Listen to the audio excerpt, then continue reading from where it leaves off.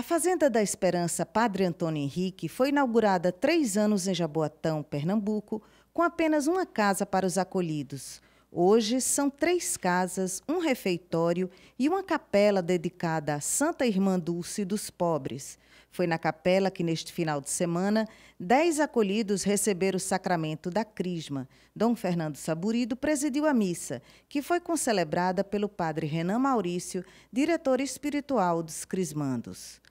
O trabalho realizado na Fazenda da Esperança é bem abrangente, sobretudo procura dar aos jovens que fazem essa, essa adesão uma formação espiritual, para que eles saiam daqui inteiramente renovados espiritualmente e motivados a abraçar a fé e deixar completamente o vício.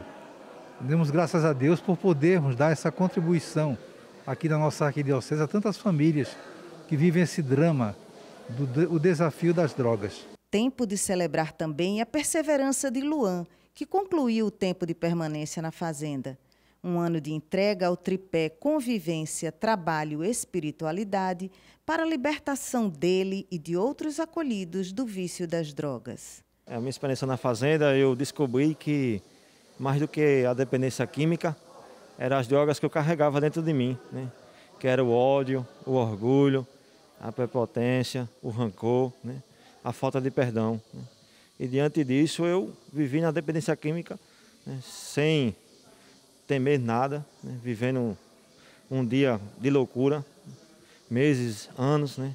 Acabei indo para a prisão, me levou a tantas outras coisas, viver na rua também. Né?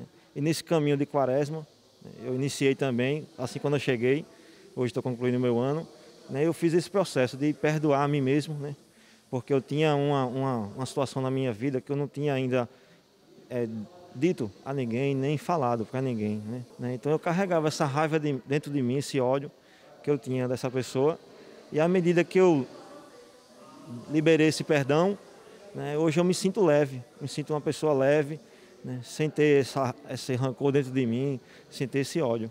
No final deste mês, Dom Fernando vai inaugurar mais uma Fazenda da Esperança no território da Arquidiocese, a Fazenda Feminina Irmã Lindalva Justo, no município de Primavera.